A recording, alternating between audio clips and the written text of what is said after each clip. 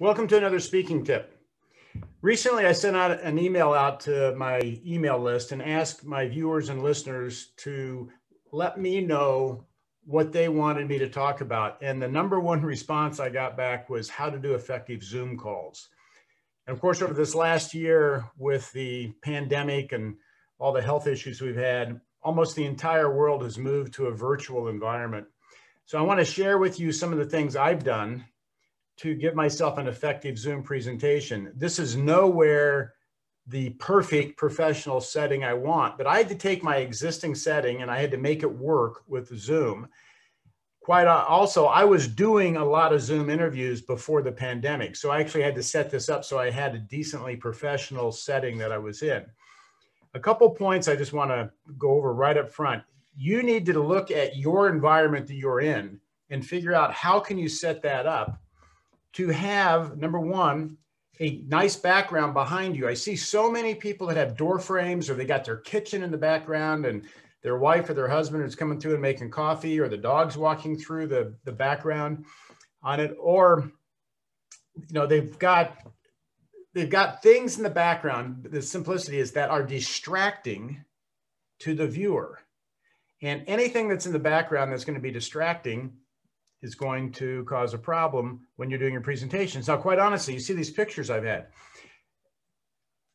Sometimes those picture frames get out of square. and I've had people tell me that drives them nuts that my pictures aren't straight behind me. Okay? And I had to look on my Zoom to make sure that the pictures were straight in the Zoom because they would be straight in real life, but they wouldn't be straight on the Zoom. So I sort of had to alter them to make sure that there was nothing distracting behind me from my Zoom. So make sure your background is good and clean. Make sure your lighting is good. I had some real lighting issues. I'm going to show you what I had to do to handle my lighting issues. Your microphone setup needs to be good. In a lot of places, headsets or earbuds are acceptable.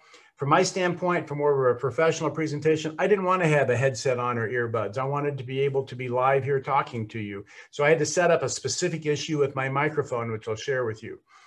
And the other thing is making sure that your computer is actually the processor on it is robust enough that it can handle the video interface.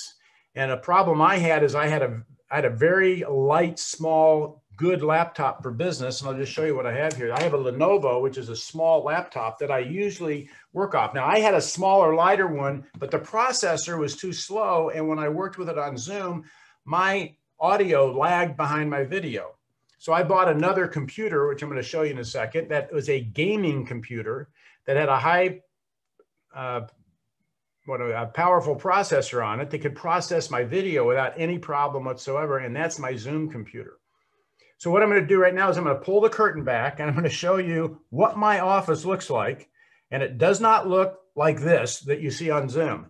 It's a working office. I'm in it every day. I've got a lot of different business I do but I, I have it set up so I can have a good Zoom presentation. So let me share the screen with you.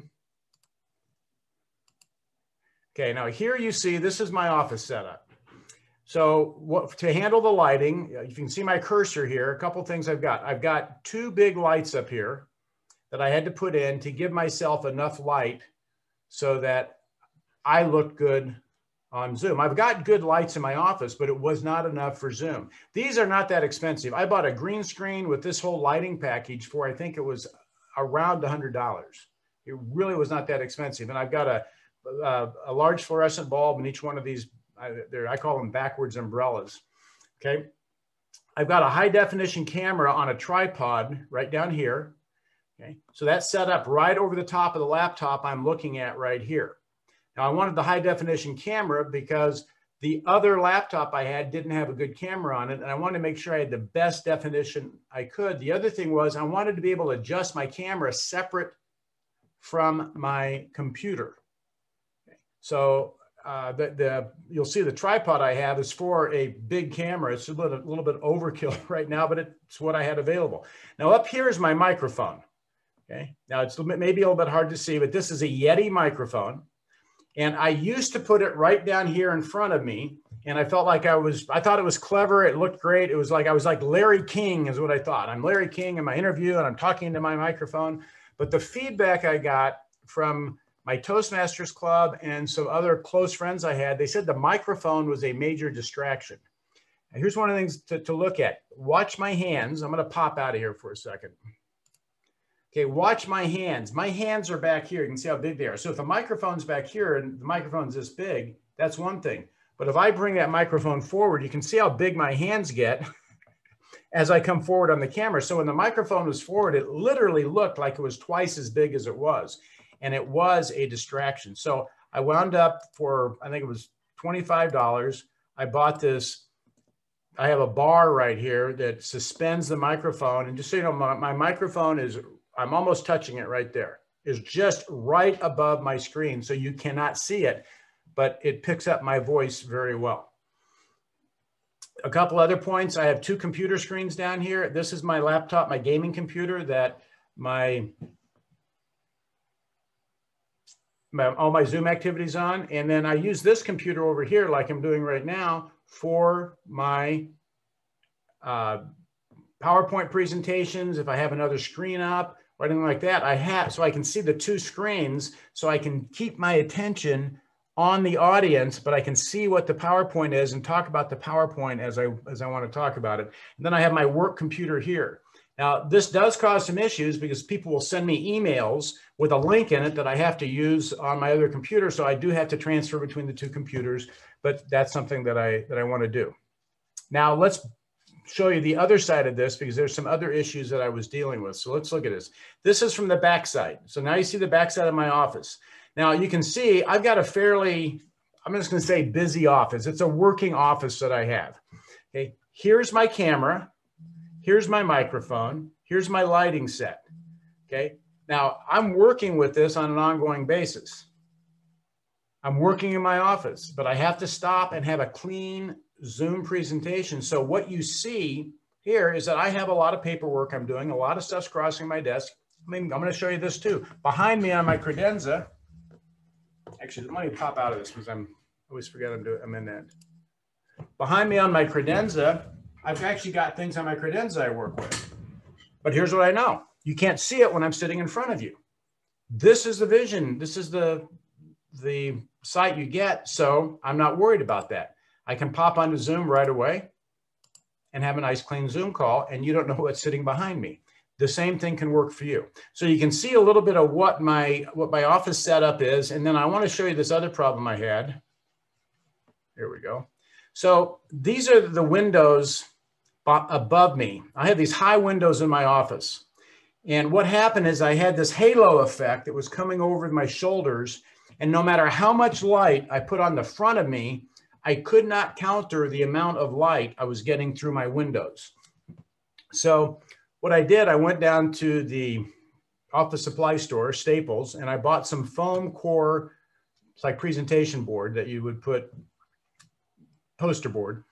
And I cut it to the exact size of the window because I taped some towels up there at one point just to see if I could cut the light out, but it looked horrible from the front of my house. So I just cut the foam core uh, blocks in there and put them in there, which blocked out the light and diffused it so that I don't have that halo effect coming over the top of me right now. But you can see the microphone, how it's set up.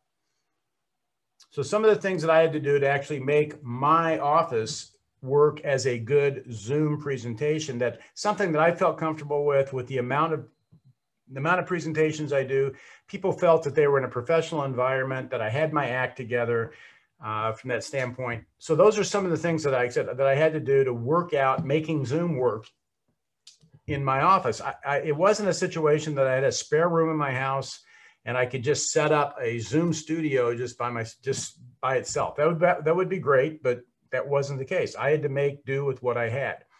Okay. Now a couple other things I want to touch on, and I don't think these are good, but I'm going to show you is the virtual background scenario.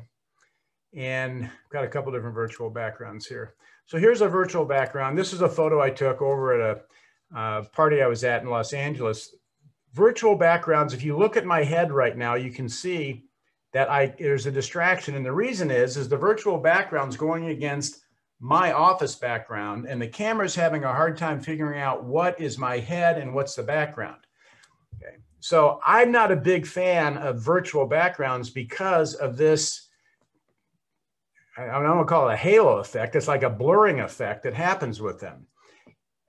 I have seen virtual backgrounds work very well where people have a green screen behind them. Because the green screen is solid and the camera can very easily decipher what is, what's the body, what's in the, what's in the picture, what's not in the picture. Uh, a couple things about green screens that I've learned. I had a, I have a big cloth I bought and it's wrinkled and the wrinkles show up on the green screen. So the best green screens I've used are painted walls. You paint them that color and it's solid and it's smooth and the light reflects off of it. If you're going to have a cloth situation, you actually need to take clamps and be able to see where you can really draw the cloth down so you have a tight a tight green screen behind you to get that effect that, that you need. Those are some of the things that I've seen. So anyway, hopefully this gives you a little insight into what I had to do to set up a good Zoom set, setting. And it, the fact is you need to figure out for yourself what extent you need to go to to set it up. I will say this, I did not spend a lot of money on it.